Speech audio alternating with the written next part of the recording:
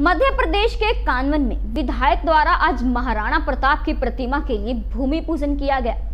कानवन के युवाओं द्वारा काफ़ी समय से मांग की जा रही थी कि ग्राम पंचायत कानवन में राजा महाराणा प्रताप की प्रतिमा स्थापित की जाए, जिसको लेकर ग्राम पंचायत कानवन के युवा सरपंच भगवत सिंह सोलंकी भी प्रयासरत थे। जिसका बदनावर क्षेत्रीय विधायक राजवर्धन सिंह दत्ती गाँव ने आज कानवन में भूमि पूजन कर सैकड़ों युवाओं में जोश भर दिया। आपको बता दें कि बदनावर विधायक राजवर्धन सिंह दत्ती गाँव आज ग्राम पंचायत कानवन पहुँचे, जहाँ पर ग्राम पंचायत के युवा सरपंच भगवत सिंह सोलंकी और सचिव ईश्वर सिंह बोडाना। कानवन के युवाओं और कार्यकर्ताओं ने विधायक का साफा बांधकर पुष्पमाला से स्वागत किया।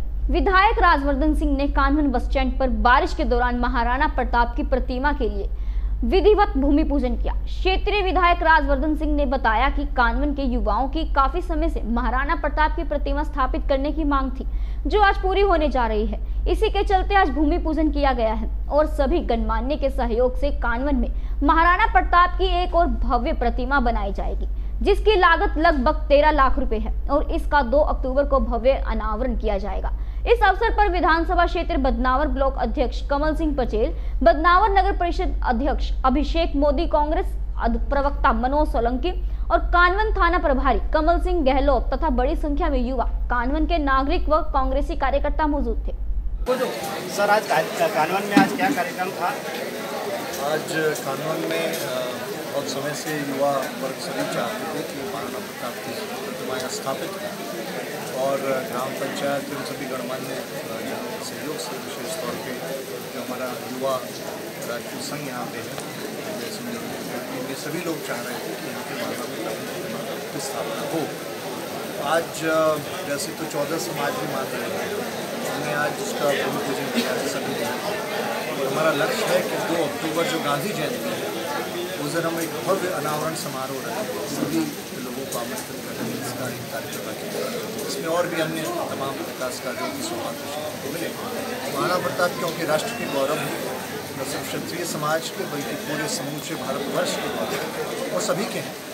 मेरे ख्याल से आज के दौर में युवाओं को महाराणा प्रताप से बेहतर प्रेरणा सूत्र नहीं मिल सकता। कितने की लागत की प्रतिमा बनने जा रही है। लागत तो इसकी करीब बारह तेरह लाख आ जाएगी। हमको सब समूचा मिला के मेरे ख्याल से पंद्रह लाख तो इसका पंद्रह लाख पड़ेगी पंद्रह लाख लेकिन लागत महत्वपूर्ण नहीं है। महत्वपूर्ण ये है कि हम क्या करने जा रहे हैं और सब मिल के करने जा रहे हैं। मेरे ख्याल से बहुत ही अच्छा ये एक अवसर हमारे क्षेत्र में आया और मैं इसका श्रेय सभी को दूँगा, सबसे मिल के समझता हूँ कि नौजवान न सिर्फ़ उस कार्यक्रम में शिरकत करें बल्कि आगे भी महाराणा प्रताप के जीवन को अंगीकार करें उनके चरित्र का अनुसरण करें और उसको कर्म के रूप में अपने निरंतर जीवन